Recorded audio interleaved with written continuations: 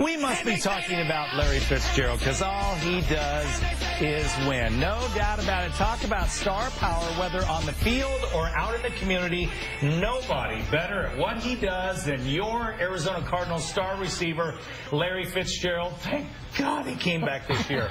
Uh, off the field, he's out there making plays for the better of the Valley, and part of that is his annual double play celebrity softball game this weekend. Larry, good morning. Good morning to you from Albertsons. So it's good to have both of you here this morning. Thanks, Scott. Larry, I'm so glad you're back this year. I'm glad to be back. I'm glad to be back. It's an exciting time right now. We uh, start mini camp tomorrow. And so we're just getting back into the swing of things. This is an exciting weekend for me also, uh, you know, doing our eighth annual celebrity softball. Um, being able to team up with uh, Albertson Safeway, and having Nancy here, and their generous contributions to my first down fund has been uh, such an unbelievable, generous gift on their behalf, and I couldn't be more appreciative of that. Thank you. It's our pleasure. Yeah.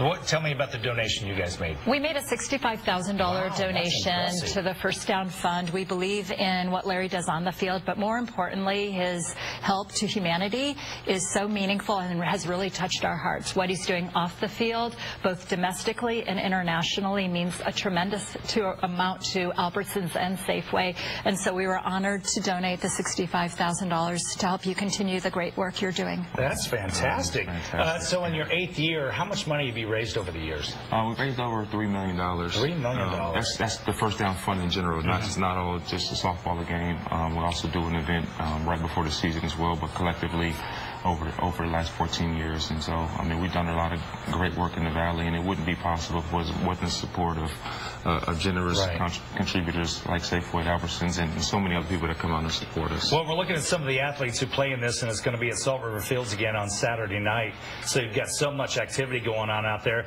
It's kind of funny. Uh, all these guys are your pals, and you play against a lot of them. There's nobody that is more respected on the field I'd love to see the respect when you're out there and you're getting tackled by guys who, uh, you know, you're friends off the field and you guys are patting each other. And the, it's amazing the respect you get. Well, I mean, I, I think well deserved. By I mean, you, you, have to be respectful to be respected, right? And, and I try to be respectful of the game. Obviously, it's a it's a hard fought game, and guys, you want to win, but there's a right way and there's a wrong way to go about it, in my um, in my opinion. And uh, I just always try to be respectful of the game and, and, make sure it's in a better place when I leave it than it was when I came in it. I love that. Can we talk about your new quarterback, Sam Bradford? Can we just make it so that he throws you the ball every single play? I mean, that's how. No, you know what? I think he's done a great job over his career spreading it around, you know, yeah. finding open players. And, you know, with as many weapons as we have offensively, with David Johnson coming back and uh, some of the new additions we have in the receiver room and, um, you know, getting T.J. Logan back in the, in the offensive backfield. I mean, it's, it's going to be a lot of guys who and can make coach. plays. Yeah. Yeah. We're excited. I wish you'd quit uh, keeping us on pins and needles on whether you were going to come back, though. Do you know what we all went through around here trying to trying that guessing game? Do you know what I went through? I love that. Uh, any? Uh, where, would you go in the off season? Where'd you Where'd you uh, travel to this year? I went first. I went to South Korea. I watched the Winter Olympics. I never. I saw you there. there did you know you were on TV? Um, no, I did not. I, I I did not. I did not. I, I was trying to be incognito, just trying to watch the games, uh, you know, and, and chill. Then I went over to Iceland and in uh, in Sweden.